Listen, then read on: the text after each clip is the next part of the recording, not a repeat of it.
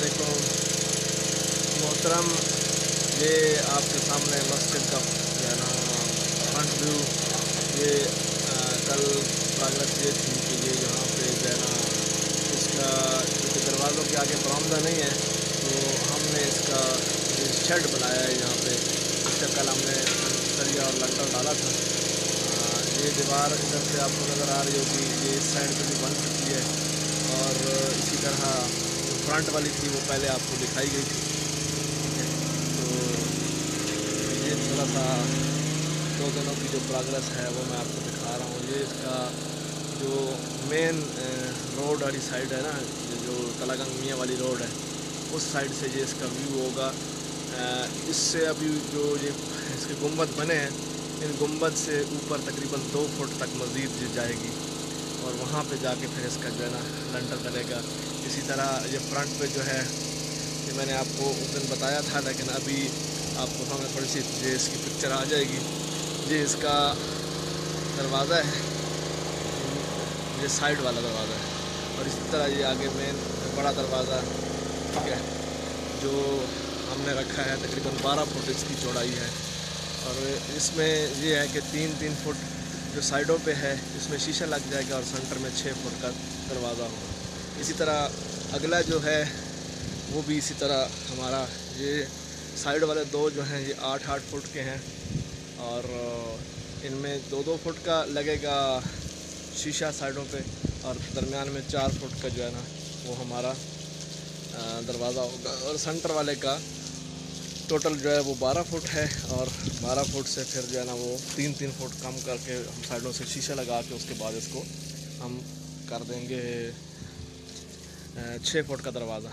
ये जो है एरिया, ये आपको सामने वो जो गुंबद नज़र आ रहा है, वाइट कलर का, ये इमाम बारगाह है जो दरबट्टा रोड पे है। और उसके साथ ये जो बिल्डिंग नज़र आ रही है, ये जो है ना, आपकी सईदात फैमिली हैं, हज़रत शाह अली पीर साहब, उनकी हैं, या फिर उसी गुंबद के पीछे जो है ना, वो एक मस्जिद नज़र आ रही है वो जो सईदात का कब्रिस्तान है, उसके साथ वो मस्जिद है। और इसी जो जो बिल्डिंग है, इसके कार्नर पे, जहाँ पे जो मेन रोड है, जो दंदा दरबट्टा की तरफ़ जाता है, उसका वो कार्नर नज़र आ रहा है, ठीक है?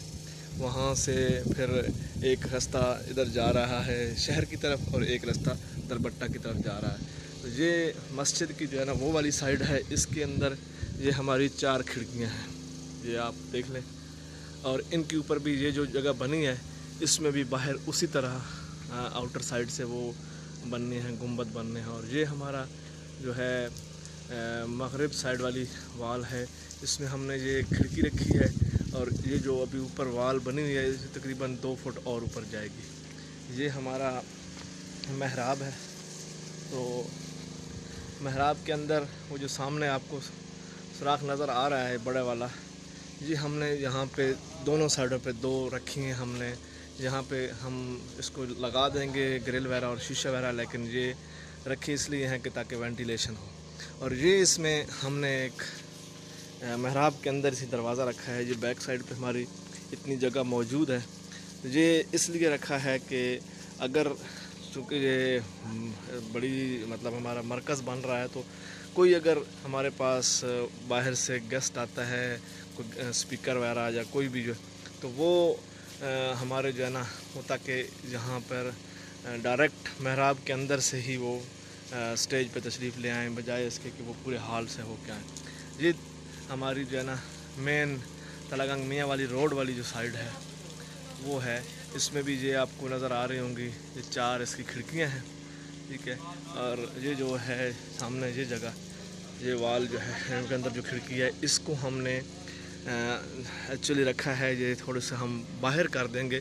ये कुरान पाक पैदा रखने के लिए जो है ना, ये जितनी हमने ये इसका लेंटर बाहर निकाला है, वहाँ पर जाकर इसकी चुनाई होगी। इसके अंदर जो है ना, अगर कोई कुरान पाक वगैरह भी रखेंगे और अगर कोई माइक सिस्टम वगैरह होता है तो ये दोनों साइडों पे, इस साइड पे भी और दूसरी साइड पे भी हमारी दो हैं।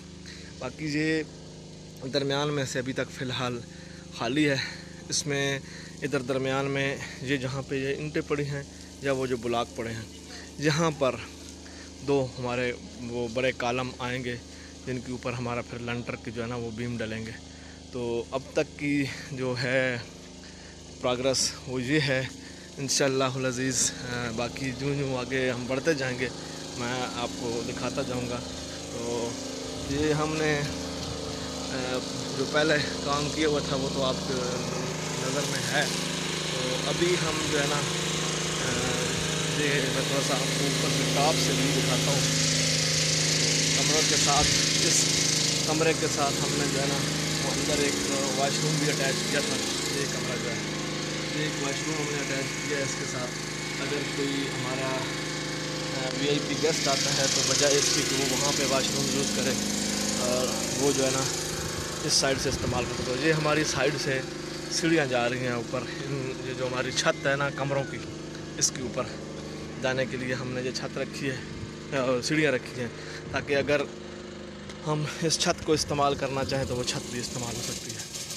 जी जनाब सामने अभी जो है व्यू है मस्जिद का।